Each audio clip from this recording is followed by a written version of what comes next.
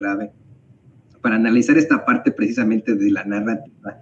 Eh, si es un hecho que Xochitl Galvez miente como respira, pues también el presidente López Obrador provoca como batea, ya saben que dice que anda macaneando al 300%, no sé cómo, pero eh, él, eh, por mucho que le impongan este tipo de planteamientos desde la Comisión de Quejas del Instituto Nacional Electoral, va a haber cualquier tipo de estratagema política y jurídica para seguir expresándose. Es más, tiene él, eh, de todas formas, la garantía del artículo sexto constitucional que habla de libertad de expresión, ese, ese derecho fundamental que tenemos y ni siquiera está interviniendo claramente en, un proceso electoral en el que, por ejemplo, sí está interviniendo Xochitl Gálvez.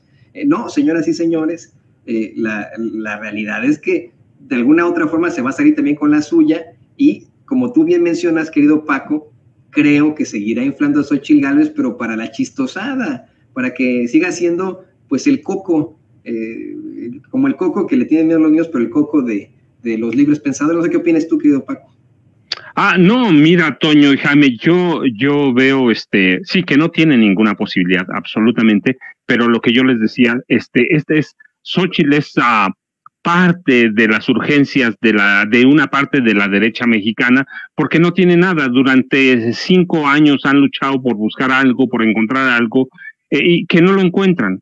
Eh, recurrieron a, al 2000, recurrieron al 2012, Fox, Peña, pero no lo encuentran. Pero en su necesidad, en su locura, sus estrategias fallidas, este, se agarran a lo que hay, se agarran a lo peor.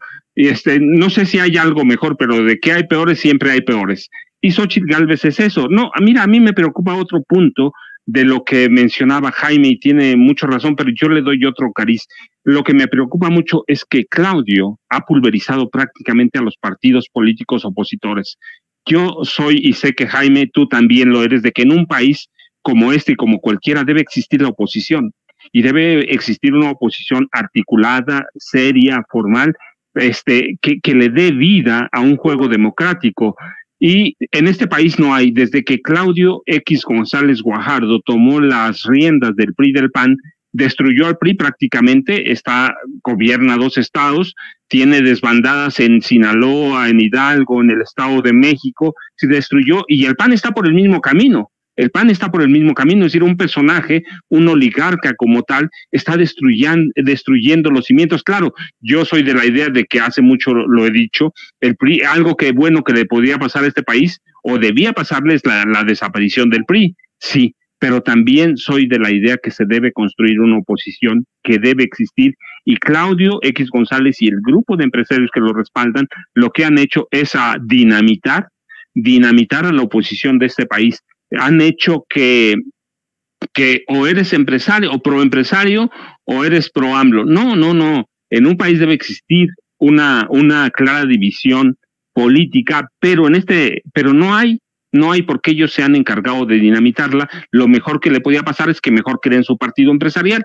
Punto. No, no es el PAN, no es el PRI, un partido empresarial y entonces entrarían al juego democrático y se dejarían de andar jugando con querer, que no es un juego lo que hacen, ciertamente no es un juego, con querer dinamitar a este país o intentar un golpe blando, un golpe de Estado, claramente que no han podido, no tienen bases, no saben cómo, lo han intentado ciertamente, pero sí debemos tener este país debía preocuparse por tener una oposición muy seria y una oposición muy, una oposición formal. Hoy lo que tenemos son dos caricaturas, ya no hablo del PRD porque ya está prácticamente en vías de desaparición, pero, pero el PRI está en vías de desaparición y el PAN, por ahí va, es decir, este, la, la derecha mexicana que encabeza Claudio X González, lo que ha hecho es dinamitar a esos partidos. Debía preocuparles a ellos, pero a nosotros debía preocuparnos que exista una, una oposición seria y formal, pero que así no lo van a hacer. Lo que están encaminando es a destruir partidos. Y digo,